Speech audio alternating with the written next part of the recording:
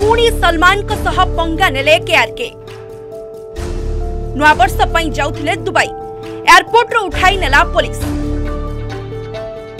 Tweet करी सलमान को दायी कले केआरके कमाल आर खान ओफ केआरके सर्वदा निज बयान और टिप्पणी नहीं चर्चा रही था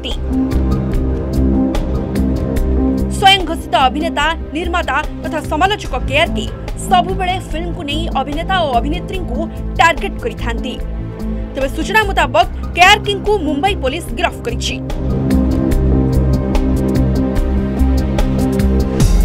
के निजे सोशल मीडिया एक्स माध्यम रे सूचना से जे से नुआ वर्ष पालन करने को दुबई जाऊले समय रे पुलिस गिरफ्त कर सबुठ बड़ कथा এই গিরফ ଗିରଫ ପାଇଁ ସେ ଅଭିନେତା ସଲମାନ ଖାନଙ୍କୁ ଦାୟୀ କରିଛନ୍ତି কেআরকে পোস্ট করে লিখিছেন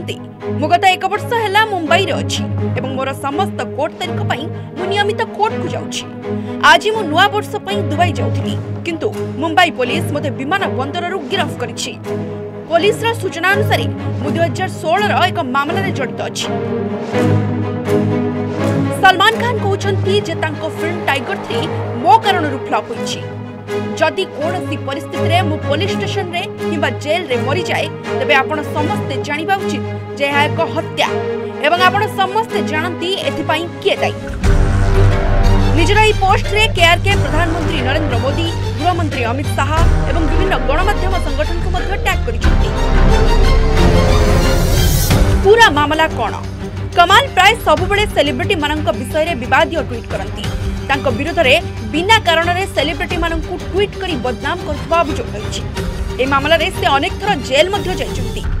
ଦୁଇହଜାର ବାଇଶରେ କମାଲକୁ ମଧ୍ୟ ଦୁଇଥର ଗିରଫ କରାଯାଇଛି ସର୍ବପ୍ରଥମେ ଇରଫାନ୍ ଖାନ୍ ଏବଂ ଋଷି କପୁରଙ୍କ ସମ୍ପର୍କରେ ବିବାଦୀୟ ଟ୍ୱିଟ୍ ଅଭିଯୋଗ ଦେଇ ତାଙ୍କୁ ଗିରଫ କରାଯାଇଥିଲା दुहजार षोह film maker Vikram Bhatt case file केवल एतिक नुहे गत सेप्टेम्बर मसने केआरपी को फिटनेस ट्रेनर विरोध में जौन निर्यातनार अभोग आपर गिरफ कर निकटर सलमान का फिल्म टाइगर थ्री को बहुत ट्रोल करने बद ट्विट करते केआरके तेणु सलमान काले रागी बदला ने अभोग कर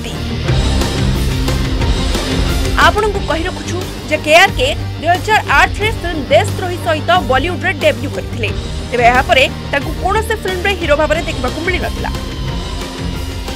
সুজনা অনুচাই 2016 রু সে একো মামলারে জড়িত আছেনতি। সতি পাই তাকু দেশ ছাড়ি যিবাকু অনুমতি নাহি। তেলে বর্তমান তাকু কেওটি পাই গ্রেফতার করা যাইছি তা স্পষ্ট জানা পড়ি নাহি। Bureau report news 18 Odia